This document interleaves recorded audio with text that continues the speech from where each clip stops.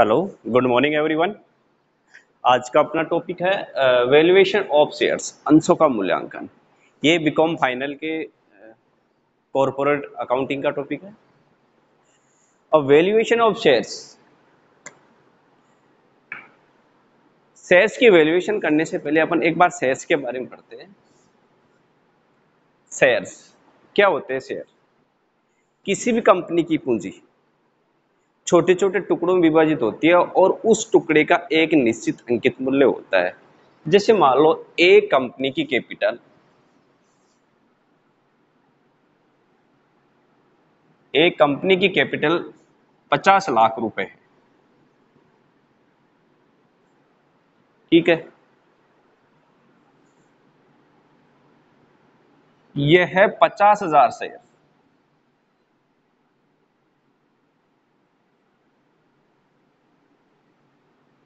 एक शेयर की पेश वैल्यू सौ रुपए।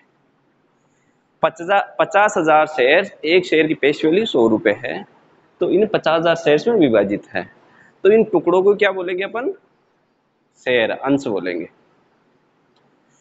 अब ये हो सकता है, जैसे मान लो, एक व्यक्ति है, इसके बाद कंपनी के बीस हज़ार शेयर एक और व्यक्ति है बी। उसके बाद कंपनी के पंद्रह हज़ार से। ठीक है? सी एक व्यक्ति है जिसके पास दस हज़ार मान लेते हैं। दस हज़ार शेयर और डी एक व्यक्ति है। पैंतीस, पैंतालीस, पाँच हज़ार मान लेते हैं। पाँच हज़ार शेयर है सौ रुपये इस प्रकार एक कंपनी की कैपिटल पचास हज़ार शेयर में डिवाइड है और चार व्यक्ति है जिनके, चार शेयर होल्डर है। ए के पास बीस हज़ार शेयर कंपनी के, बी के पास पंद्रह हज़ार शेयर है, सी के पास दस हज़ार शेयर है और डी के पास पाँच हज़ार शेयर है। इस प्रकार कंपनी की पूंजी छोटे छोटे टुकड़ों में विभक्त होती है और इन टुकड़ों का एक निश्चित अंकित मूल्य जैसे पेशोली सौ रुपए इन शेयर्स की तो एक इन टुकड़ों का एक निश्चित, इन अंशों या टुकड़ों का एक निश्चित अंकित मूल्य होता है। इन्हें अपन क्या कहेंगे? अंश या शेयर्स कहेंगे अब शेयर्स दो प्रकार के होते हैं। एक तो होते हैं प्रिपेन शेयर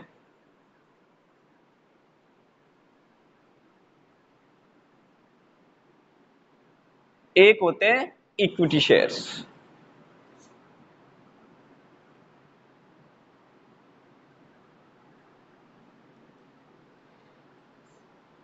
इक्विटी शेयर और प्रिफरेंस शेयर प्रिफरेंस शेयर तो हिंदी में कहेंगे पूर्वाधिकार अंश या अधिमान अंश.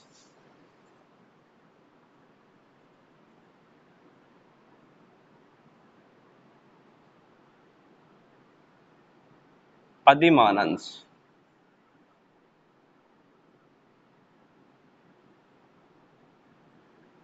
और इक्विटी शेयर को कहेंगे समता अंश. या सामान्य अंश भी कह सकते हैं।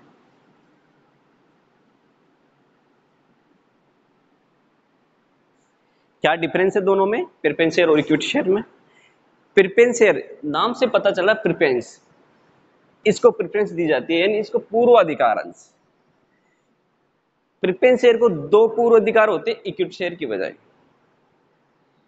एक तो होता है first right.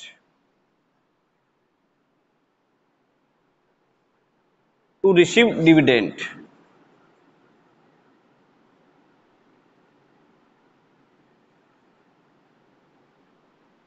क्या होता है प्रिफरेंस शेयर को इक्विटी शेयर की तुलना में है। जब भी कंपनी को प्रॉफिट होता है तो कंपनी जब प्रॉफिट होता है तो डिविडेंट अलाउंस करती है डिक्लेयर करती है, लाभांश घोषित करती है। तो लाभांश घोषित होने पर पहले प्रिफरेंस शेयर को लाभांश दिया जाएगा और उसके बाद में यदि लाभांश अवेलेबल रहेंगे तो इक्विटी शेयर को दिए जाएँगे। ठीक है?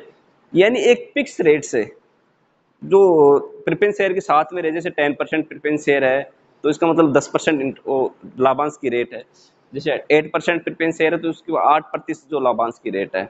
तो रेट साथ में दी होती है और फिक्स रेट से इनको डिविडेंड मिलता है और पहले इनको डिविडेंड मिलेगा और उसके बाद में इक्विटी शेयर को डिविडेंड मिलेगा। ये हो गया पूर्वाधिकार। यानी एक समता कंपनी को लाभ होने पर समता अंशों से पहले लाभांश प्राप्त करने का पूर्वाधिकार। अब सेकंड राइट और कौन सा है इसका? फ़र्स्ट राइट यानी कंपनी के समापन पर पूंजी प्राप्त करने का। First right to receive receive capital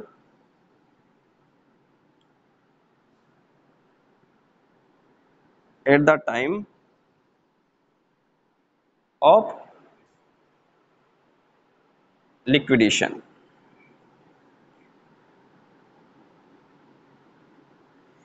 जब भी कंपनी का समापन होता है तो पहले पूंजी किनको मिलेगी?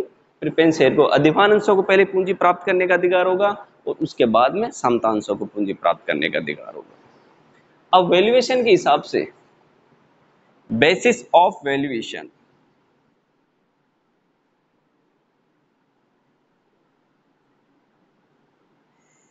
वैल्यूएशन के आधार पर अपन शेयर को दो भागों में बांटेंगे। एक तो होगा लिस्टेड शेयर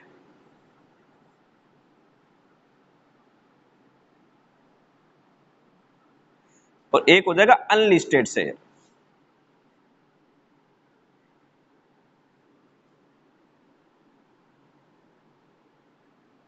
यानी सूचीबद्ध अंश और असूचीबद्ध अंश. इनको कोटेड भी कह सकते हैं अपन.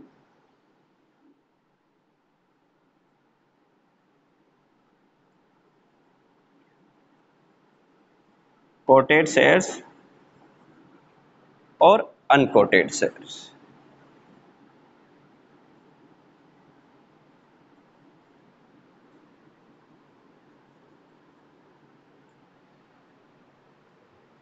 सूचीबद्ध अंश और असूचीबद्ध, यानी listed share in stock exchange या लिख देता हूँ मैं listed share in stock exchange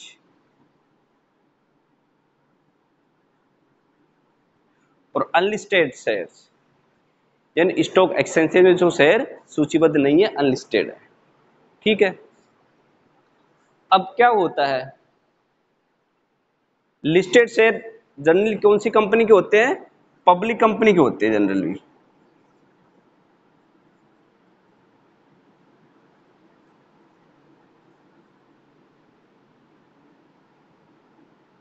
public companies के होते हैं।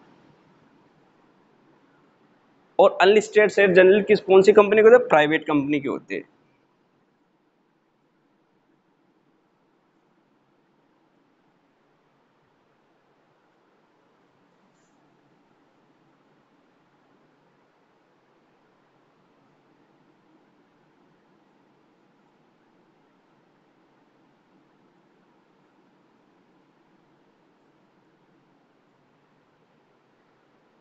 लिस्टेड शेयर ये स्टॉक एक्सचेंज में डिमांड एंड सप्लाई के आधार पर निर्धारित होते हैं।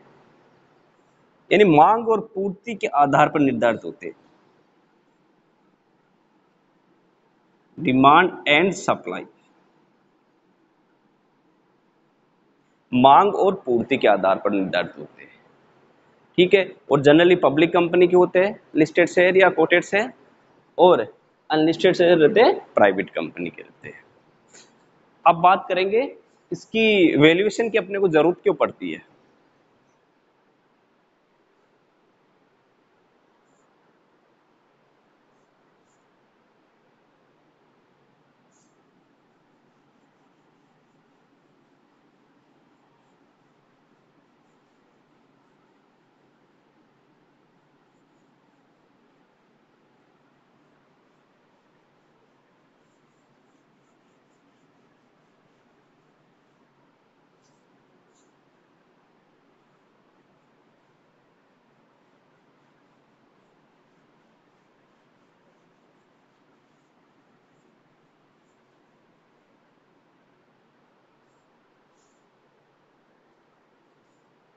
भाई, इनकी ज़रूरत क्यों पड़ती है अपने को?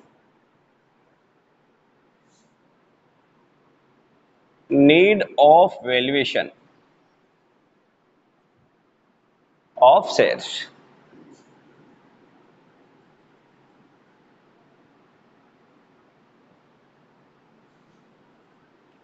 जब एक कंपनी के, जब एक श्रेणी के अंशों का परिवर्तन किसी दूसरी श्रेणी के अंशों में करना हो तो अपने को अंशों के शेयर्स की वैल्यू निकालने की ज़रूरत पड़ेगी।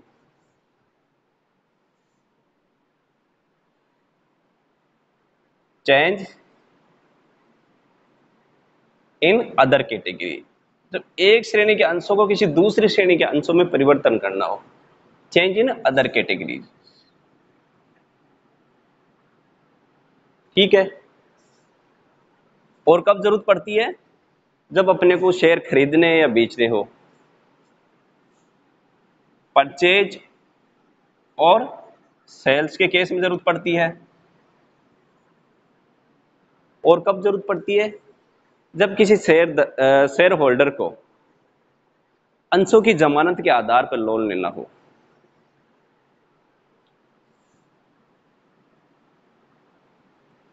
लोन ऑन सिक्योरिटी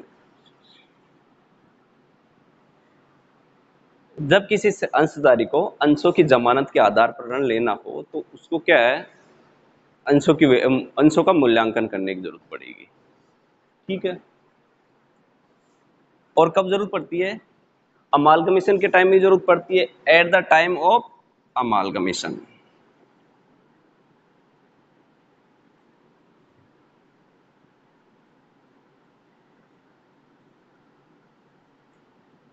amalgamation का मतलब होता है एकीकरण, दो या दो से अधिक कंपनियों का एकीकरण। जब दो या दो से अधिक कंपनियाँ मिलकर एक नई कंपनी बन जाती है तो होगा अमालगमेशन। तो क्या होता है, जब अमालगमेशन किया जाता है तो जिन कंपनियों का समापन हो रहा है, उन कंपनी के शेयर होल्डर्स को क्या परचेज कंसिडर करे प्रतिफल देना होगा। तो उनको परचेज कंसिडरेशन उनको पेमेंट करने के लिए अपने को शेयर्स की वैल्यू निकालने की ज़रूरत पड़ेगी।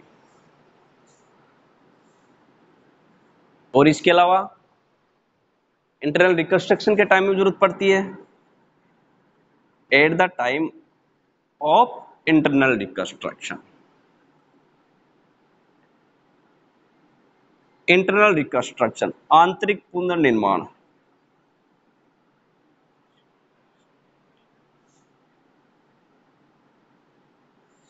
यानी आंतरिक पुनर्निर्माण, एक कंपनी के अंदर ही इंटरनल रिकंस्ट्रक्शन क्या होता है जब कंपनी लॉस में चली जाती है और कंपनी के उस लॉस को उस घाटे से उबारने के लिए उस कंपनी के अंदर इंटरनल रिकंस्ट्रक्शन किया जाता है, आंतरिक पुनर्निर्माण किया जाता है।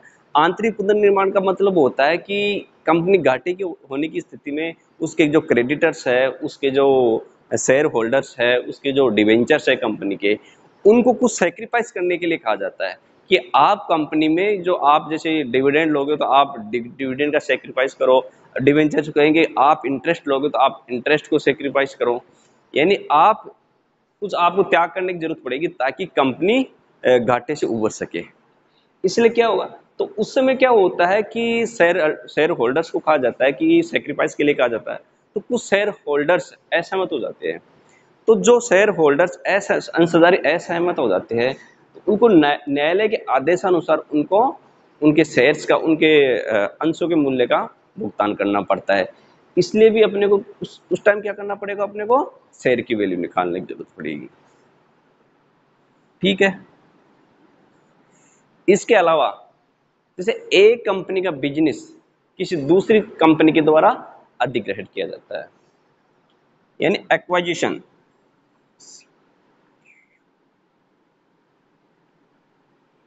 acquisition by other company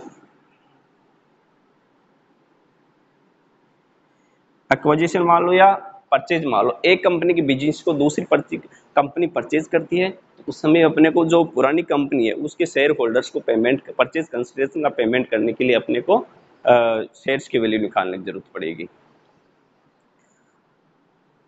हो सकता है acquisition by government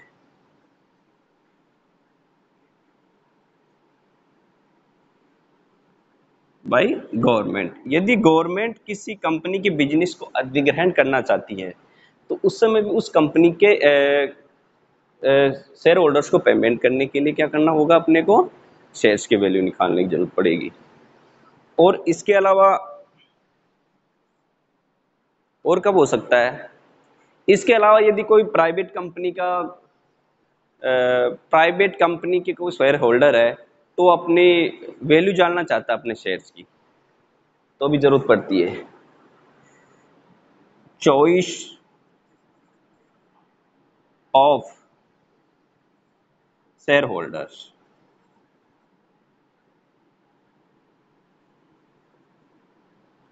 choice of shareholders ठीक है तो इन केस में अपने को क्या होगा?